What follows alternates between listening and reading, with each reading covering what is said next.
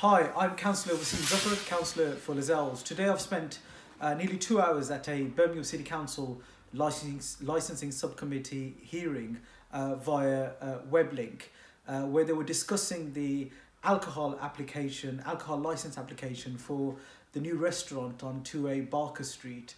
Um, I was objecting to it, uh, I spoke against it. Um, the application applicant had a barrister representing um, him alongside himself. Um, and I felt it was really, really important for me on behalf of the residents of Lozells. Um, over 430 people signed a petition. Unfortunately, the petition was ruled out because they started before the application went in. Um, but I thought it was really, really important to speak up on behalf of the residents because we know, residents who live in Lozells know that if a license for alcohol is granted at these premises, uh, it will have a detrimental impact on the quality of life of residents uh, close to these premises, in particular those residents who live around the corner on Barker Street. Uh, so I've raised those objections. Uh, the committee will make a decision in, in, in the next uh, few days and I will notify you of the decision. Um, you can stay tuned and watch uh, my submission uh, on this particular video. Uh, and remember, we will continue, irrespective of the decision of the committee, we will continue to campaign for a better, for a safer and a healthier Lozells for all. Uh, we'll now move to Councillor uh, Waseem Zaffar, who's making representation. Councillor Zaffar, uh, 20 minutes. Over to you. Thank you. Thank you, Chair, and thank you to the committee for giving me this opportunity to um, raise concerns and objections on behalf of the constituents uh, who elected me as a councillor for Lozells. Um, I, I, want to start the outset to say that I'm very much pro business and in particular pro local business. Uh, I'm very much welcome that this site, which um, has not been used for many years, will now be uh, moving forward as a restaurant. And in particular, we, we welcome the diversity of offer, which is reflective of the needs of not just Lozells, but of Northwest Birmingham. So absolutely welcome welcome the business and the fact that they'll be creating employment uh, and supporting the local economy too. However, I, we, we have grave concerns about the application uh, for a premises license um, um, uh, to sell alcohol. Uh, whilst we uh, acknowledge that the uh, applicant has reduced the hours of operation, we still are not uh, are not happy with that. I'm hearing a um, yeah, I've got a mobile phone. I think. listen, if you can I'll try and continue. Thank you, Chair. Um, I, I accept that the members of the committee, uh, some of you or all of you may be aware of the environment in Lozells, but I just want to give you the context of the, the environment that we're that this premises license um, uh, will will will be in place if it if this license is granted today. Um, Lozells and, and in particular Villa Cross is a fascinating area, very vibrant and creative area, but it's not been shy of uh, problems over the years. Uh, I am not aware of a premises license uh, within the vicinity of this area. However, over the years, there have been many licenses. Uh, and these licenses have either been revoked or the businesses have moved on. Uh, can, can, I can I ask you to stop there for a minute, uh, Councillor Zaffar? Uh, whoever's got that call, can they please cancel it? Otherwise, I'll cancel this meeting. Thank you, Councillor Zaffar. Thank you, Chair. So, uh, as I was saying, there, has been a number of premise license, premises license in the past within the vicinity of Villa Cross, Villa Road, um, and within this area. There was a premise license, uh, and I just want to set that said, I, I don't want to in any way um, uh, um, link these two directly because the applicant had nothing to do with the running of these. I just I'm just trying explaining the environment that uh, we're operating in. There was a license revoked by the licensing committee a few months ago, which is 200 yards away from this on Barker Street. And the reason uh, that, that that license was revoked, uh, the community supported this, the police supported this, and ultimately the committee supported this, was because the landlord could not handle uh, the the type of clientele that attended this. The vast majority of those people that attended that particular uh, premises, that particular licensed premises, were not from Lozells. They would come in, park in all sorts of ways, and the sort of complaints I had, um, um, you know, from my from my constituents over the last few years, and at times, in particular, early, early hours of the morning on a weekend, I would literally get uh, constituents emailing me, some of them phoning me, crying their life was hell. People would urinate, people would be drinking in their front gardens. They had absolutely no privacy. Uh, and, and to be fair to the landlady, Um, I, I don't. I, I think it was an impossible task for her. She could not handle this. Uh, she, she, despite whatever intervention she was putting in or not putting in, she could not handle this. There have been pubs uh, in the past and licensed premises on the Villa Road um, that no longer exist because of the clientele they attract. These people do not live here. They do not live in Lozells, but they end up in Lozells uh, because they see a licensed premises and they think they can operate from there. Um, uh, in terms of parking, have been um, we're, we're, in the process of introdu- introducing interventions around uh, low traffic, a low traffic neighborhood in Lozells. Uh, and the whole point of that is to reduce uh, the amount of traffic on the residential roads here. This um, application, I'm convinced, would do the opposite and increase traffic down the residential road of Barker Street, which is already hugely problematic. In fact, the last uh, TRO traffic regulation order that we carried out was to increase double yellow double uh, yellow lines on this particular road because it was difficult for vehicles to get uh, vehicles to get through with parked vehicles on both sides and two-way traffic. And uh, having a premise like this would would hinder the, the issues. I I I accept that the um, even though I've not seen a written agreement, and I'm not sure if the committee has either, um, and I'm not exactly sure which site on Heathfield Road the applicant is referring to. I'd, I'd like I'd like at some stage some some particular clarity in terms of the address. Um, but 12 spaces when you've got four security staff, you've also got your own staff and management, and then you've got 85 customers is is is problematic. And I'm going to come come on in a second to some of the pictures I've received from constituents in respect of illegal parking that that's happened since uh, since um, these premises opened uh, as a restaurant. Um, committee has ruled out. I understand they have ruled out a petition um, that was signed by over 400 residents because it was started before the application was made. Uh, the reason this petition was started was because a sign went up outside these premises which had African Village Bar and Restaurant, which is the same name as the premises that existed on the Birchfield Road. The, the re local residents who started this petition and signed this petition were not aware whether the licensing application has been made or not. They simply saw the sign and that triggered over 400 local residents to sign this petition. Sorry, I, I got to interrupt. I have to interrupt you, Council. Are you making an application for these petitions to be allowed? Yes or no?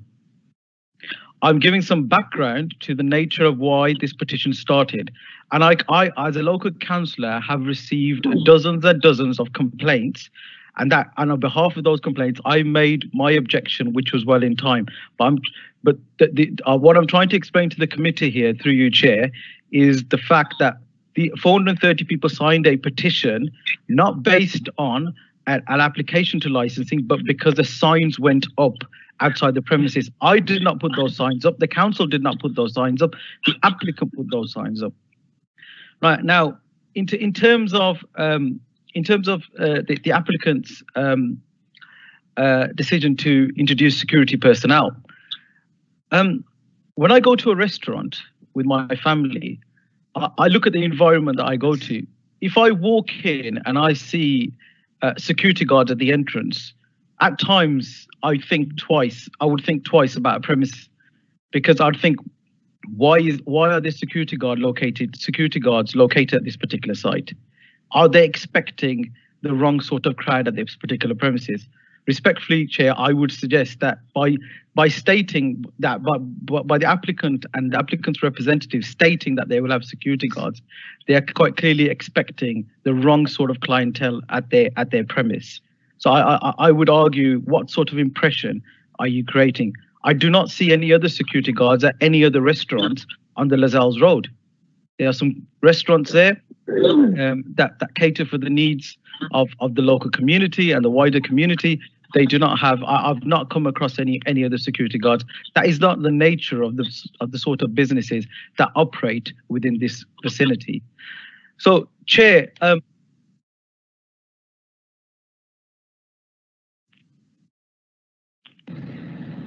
Uh, you've got Councillor Zaffar, we've lost you. Can you we've hear me, sir? I, I, can now. Yes, I'm not sure. Sound. Sorry, I'm not sure how that went on to mute. Um, committee, I, I really fear if this license is granted, it will have a huge detrimental impact on my constituents. And ultimately, we will be recreating the environment that was created on Barker Street only a few months ago. The sigh of relief and the celebration Barker's license was revoked was immense. It was, you know, it was a huge relief for them. They, they, some of them said to me they got their lives back. That is the, the level of problems we had. We had illegal barbecues, we had street parties outside these premises. And ultimately, I fear that we'll be recreating that environment by granting this license because the nature of the, the clientele that would be attracted to this place will be very, very similar to the nature of clients that were attracted to that place a few hundred yards away and the nature of clients that turned up to the African village on Birchfield Road, where Birchfield Neighbourhood Forum, who are a very able, independent community activists, um, who care for the community. You know, they, they they led a campaign on this. They were in constant contact with their councillors, uh, and and they ultimately had a sigh of relief when African Village moved out of uh, uh out of those particular premises for whatever reason. But I I, I fear. Um, in an area which has substantial issues around exempt accommodation, around HMOs, um, has a history of huge challenges, and in particular in the Villa Cross, um, you know, Lozells and I hate to refer to the disturbances and the riots, but th- those are the sort of things, the challenges that this community has had to come through. And when these things happen, it takes years and years to recover from this. Right? I remember I, I lived um, and I've lived all my life on Leonard Road, which is off Heathfield Road. So I don't live too far from uh, the, these premises whatsoever. I live within walking distance. And I remember as a kid being very, very reluctant and being told by my parents to stay away from particular locations, which are not too far from this particular area. And I just, I, I could not look my residents in the eye, those that live in particular on Barker Street, and say to them that don't worry, everything will be fine if this license is granted. And I fear we will end up in a situation that we will have to start a campaign very soon into uh, the license being granted to ask for the, come back to this committee to get this license revoked. And we don't need to go through that situation.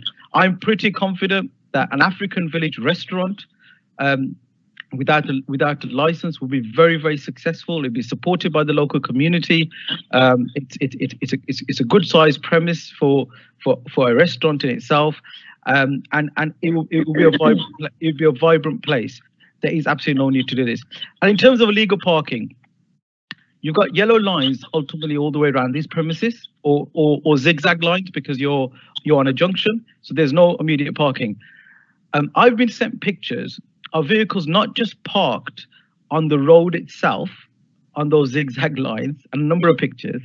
I've been I've had a picture which I would which for me is hard to believe that it's not connected to these premises. Our vehicle parked between the railing, so parked on the pavement between the railing and the premises, right? So the only way that vehicle would have got up there is through the uh, the the traffic lights, the gap between the traffic lights, onto the railing. Now I would I've not seen that before. I've lived in this neighborhood for 40 years, and I would find it very, very difficult. Um, and, and I stand to be corrected that this vehicle is not connected to the premises. I'm not saying it's, you know, it could be somebody doing some refurbishing work, could be the delivery. You know, we don't know how this premise will get deliveries. Where will they, where will they park their delivery vehicles? What is their access to to these premises? Because for any business, that is very, very important um, to to be able to be able to access uh, deliveries. We've, we've, we've, you know, we've currently got businesses across this city who are raising concerns about the lack of access to delivery when we're trying to introduce measures around low traffic neighborhoods and social distancing measures on high streets too. So how would they access their deliveries without parking illegally? Um, so I, there, there is grave concerns. And I, in conclusion, I would just ask committee that, to to to to understand the the environment, to understand the, the context of what's been happening to understand some of the more recent history. So I'm not going back decades. I'm going back to just in the last 12 months of what has happened when a licensing premises on this same road has has been operating, and the the the the the, the, the whole concern is created for the community, and the detrimental impact is had to quality of life. And I fear with security guards, with the reduction of I think 30 odd minutes to opening, if a if a alcohol license is still granted, this place would attract people who would think, I know they're saying that this is not a nightclub that was operating just down the road on the Birch Road. The name and the type, the, uh, the, the name of the business and the people running the business is exactly the same. If they attract the same sort of crowd they attracted at the old Crown and Cushion site, my residents, you know, it will be absolute hell for them, in particular in the early hours of the morning. I will conclude there. I'm happy to. I'm happy to take any questions. Okay. Councillor Straker Welds. Thank you, Chair. Um, uh, and, and, thank you, Councillor Zaffar. Uh, the association between alcohol and antisocial behaviour uh, seems to have had a fairly difficult um, time on in this particular location, as a result of which a number of um, a number of venues have had to ha- be, had their licenses revoked. Um, I suppose in my own mind, there is a question about whether, in fact, this is primarily a bar or a restaurant. I got the feeling from the applicant's advocate that uh, it's primarily a restaurant. And my assumption would be if it's primarily a restaurant, that the kind of antisocial behavior that exists in the past might not exist. Uh, so, what I'm really asking is have you, in any shape or form, been reassured by what you've heard about how the how the how the venue may be different from previous venues. Thank you, Chair. Uh, thank you, through you, Chair. Uh, thank you, Councillor uh, Well Straker Welds, for your for your question. Um, I, have not been convinced by by any means, and disappointingly so. Um, the, the the applicant has known of my objection. They've known that there's there's concern in the community. They've not been out. They've not reached out to any of the community activists. They've not tried to build a relationship with anybody. They've not tried to contact me other than send me this statement which they sent to the licensing committee. Right? I've objected previously um, to to applications in Lozells uh, on all sorts of reasons, and very quickly those who are making the application reach out to you. They reassure you. They put in interventions, and I, that's led me to withdraw my, my my request to come to a hearing because you know if we can be reassured we, me and the community, and more important, than the community, we wouldn't need to come before you today. We've had no reassurances before this. We've had no assurance, you know, reassurances during this meeting. And ultimately, for me, this is a an attempt by this applicant to reopen a business that was closed down. What Birchwood Road's probably a mile and a half down. I'll, I'll probably be standing by, uh, stand corrected by the chair who's got more knowledge of the local area than I have, but it's not that far uh, you know, it's it's walking distance from this place. So they're going to ultimately attract the same people that were attracted to the nightclub. Their behaviors will be very similar, and you're, you know, you're real, you know, the community is basically saying they're reopening the nightclub on our on our doorstep. That's what they they're attempting to do.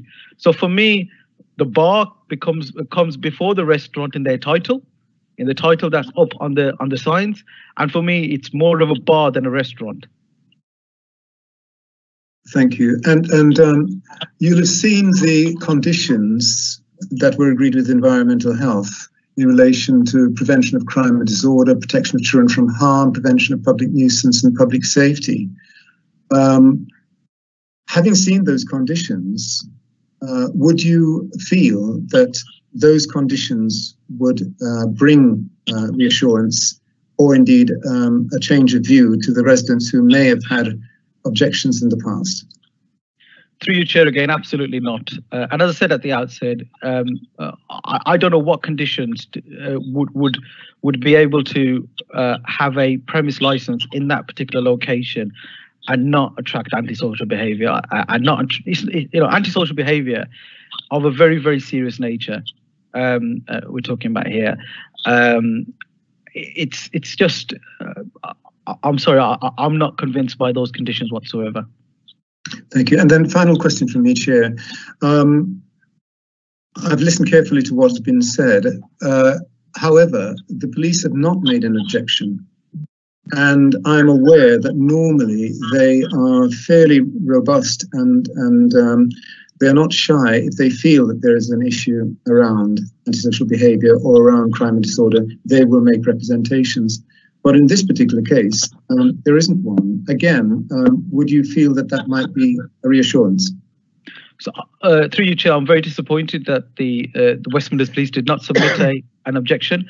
They, I know there have been conversations between the local community and the local police team, and I'm aware that there's been conversations between the local police team, uh, the local neighbourhood police team, and the uh, the the licensing police officers. Um, um, uh, and it was the police that led the they, they, they quite clearly, with the lack of resources, could they couldn't handle the challenges just down the road from this particular uh, application, uh, and they led the campaign, which was supported by us as a community, to revoke the other license. Um, so uh, I'm not sure why they've they failed to do so. I know that from the conversation that I'm absolutely I'm not trying to represent the views of West Midlands Police. They've not made an objection, but I know from the conversations I've had with some of the local neighbourhood police officers uh, and neighbourhood police officers, in particular local PCSO, who's been around a very very long time. You know they are concerned about this because, like me, they may and I say use the word may, feel that we'll end up in a similar place to where we ended up with the, with the with the other um, uh, licensed premises 200 yards away from this.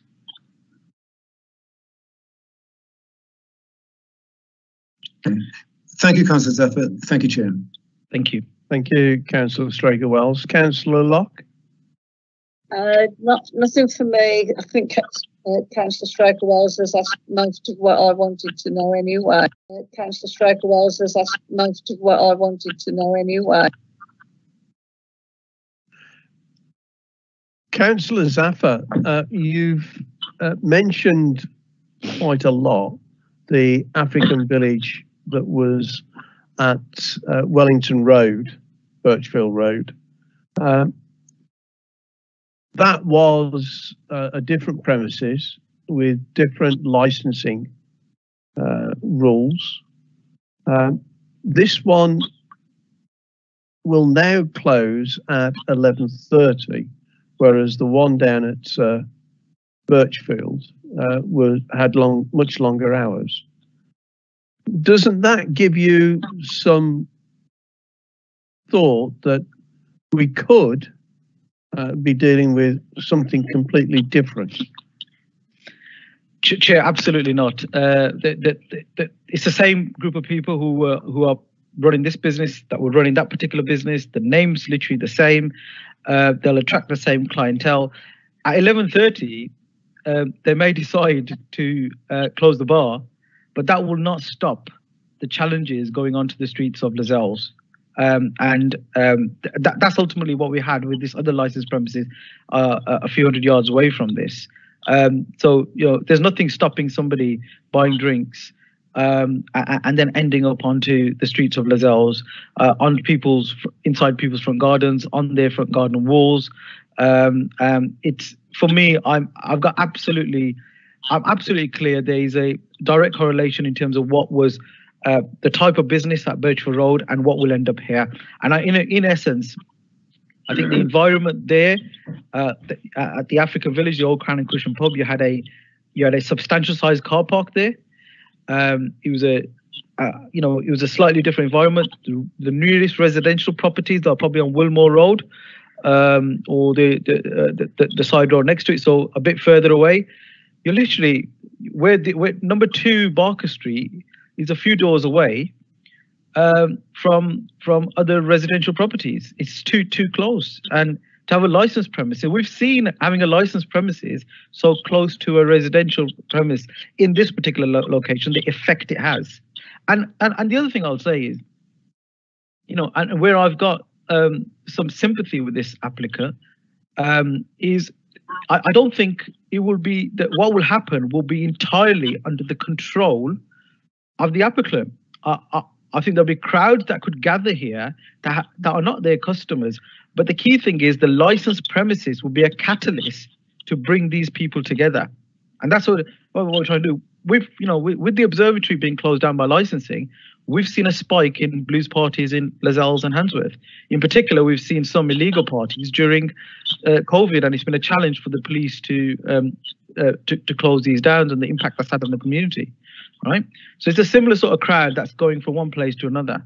And that is what we're trying to prevent. And having a crowd gathered on Villa Cross and and and and and, and in particular so close to a premise license, I think will be hugely detrimental to to the life uh, to the quality of life of my residents. Okay, thank you very much. Um, Joanne, uh, have you any questions for the councillor? No, thank you, Chair. Right, we now move to the uh, summing up stage. uh, and we will go back to you, Councillor Zaffar, if you can uh, sum up your your case, please. Um, Chair, thank you. I, I make a plea to the committee. Um, this is about people's lives. People, when people buy a house, they don't buy a house; they buy a home, and they expect to live in a home where they're safe and they're secure, and their family is safe and secure, uh, whether they buy or they rent that pro- that particular pro- uh, home. Um, and to cr- to have a licensed premise opening late, so close to their residential home, um, it, it bring it's brought back nightmares of what's happened recently. Despite the reassurances we've received from the applicant and the applicant's representatives, despite the conditions that have been drafted by uh, officers of the council with the applicant, the community is still not convinced that they will be enough. And we do not know what will be enough because we've got nightmares of similar sort of premises and the impact that has had on the quality of, quality of life for our residents. I plead with this committee to reject this application today and let the residents of Lozells uh, live a peaceful life, the peaceful life they've had over the last few months when uh, the Brave Licensing Committee took the decision to revoke the license uh, for the for the premises, which is only a couple of hundred yards away from this. Thank you, Chair. Thank you. Uh, Mr.